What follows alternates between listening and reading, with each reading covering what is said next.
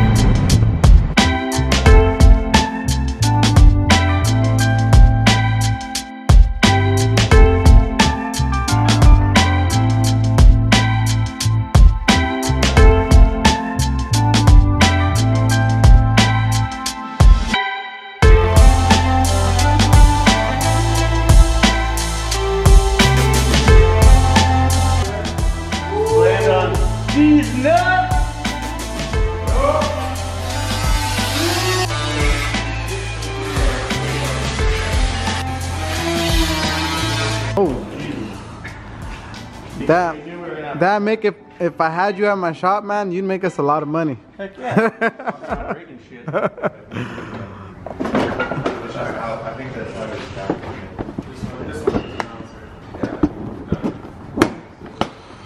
It's good, man. So you you mounted the kit, Yeah. cut it out and everything like that. You and Ricky? Yeah. Everything. So, try to do the best we can so we hand these off to you, You guys are the dream team, man. do as much work so you guys don't have to do it. Uh, But yeah. you can see, I'm working it back little by little and it's getting better, but it's still, okay, I see what you mean. Yeah, you do have to, cause it. Yeah, Yeah. I know what you mean. I So- thought I thought this was gonna sit up the way other close. thing is too, is there's a, like a cover that goes over this and it has to, it resides in there. So if we get rid of this ledge, I don't know how that's gonna really seal out. Already lost some of our mounting tab there. Yeah. So, man, front mount's huge. Who makes this one? This is uh, Mishimoto. Nice. You can't tell by the nice M I drew on it.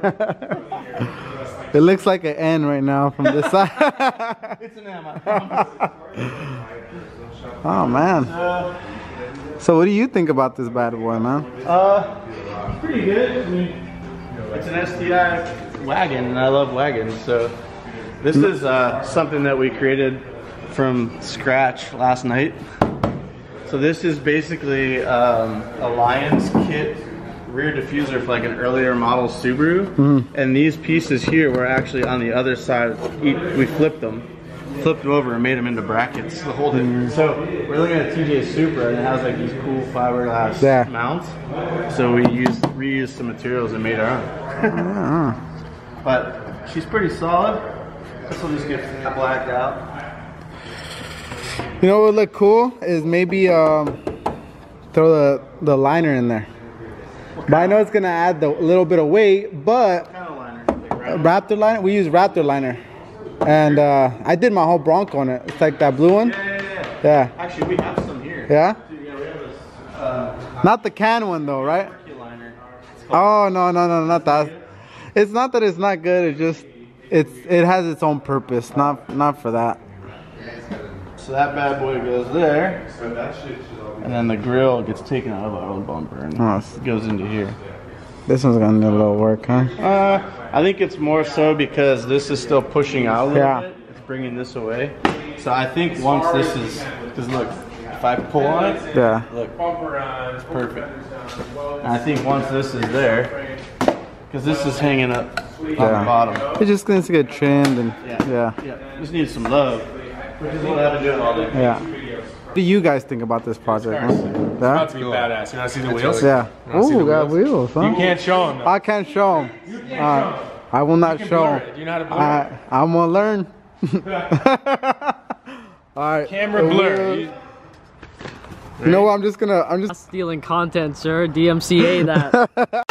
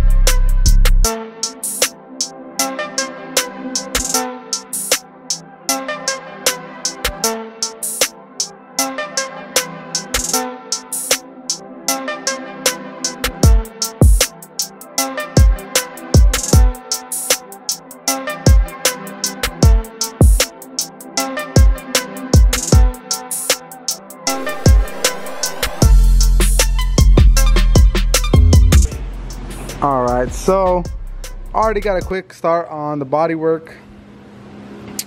Found a little bit of areas that need a little bit of love here. Some waviness going on. A couple of dings and dents. Nothing major on this side. The concern is gonna be more with the kit. And we just gotta do a little bit of stuff to it to make it look a little bit nicer. Uh, better fitments. Got this huge gap right here. And I'm not sure if they do that for a certain reason. I think it's supposed to sit kind of more like this. So we gotta do something there. Um, this is not sitting properly. So this is gonna need a little bit of love right here. Also got a little ding up in here as well. Luckily you got a new bumper, new fender on this side as well. Carbon fiber hood that probably gonna do something a little bit different with. Uh, and we gotta go ahead and get started on this side.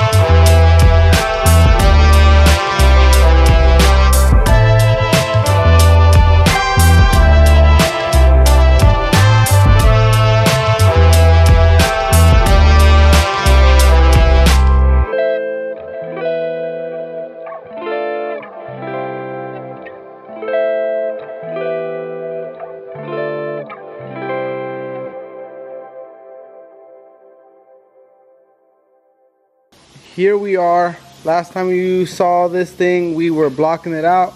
Now we used a dark primer um, you know to kind of keep everything uniform and we got all the dings and dents primed up.